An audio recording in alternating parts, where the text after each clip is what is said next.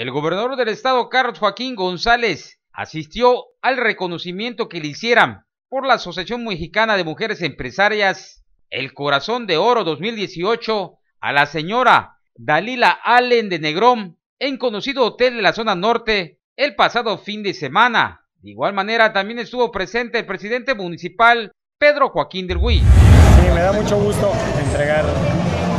este premio, ser testigo de la entrega de este premio que la Asociación de Mujeres Empresarias le hace a doña Dalila Allen de Negrón, que yo tengo el gusto y privilegio de conocer desde hace muchos años. Sé que es una mujer que ha luchado mucho por su familia, por, sus, por la sociedad de Cozumel, de una familia muy conocida, de una amplia trayectoria.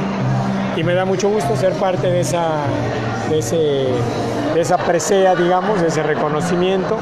Y al mismo tiempo también reconocer a quienes hoy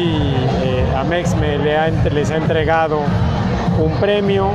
por diversas actividades empresariales dentro de la, de la isla, mujeres empresarias, mujeres emprendedoras que han llevado adelante sus, empresas, sus negocios y que con imaginación, con creatividad, con talento, con preparación han podido salir adelante y han llevado hacia adelante el desarrollo económico y social de Cozumel, que me da mucho gusto que así sea y tal como dije hace un momento, hay que seguir impulsando el desarrollo de la mujer, empoderarla, darle fortaleza, hay que equilibrar los temas de desigualdad que tenemos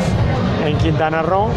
y que vamos a seguir apoyando para que así sea. Para Canal 10, Jorge Q. Imágenes, Ariana Araujo.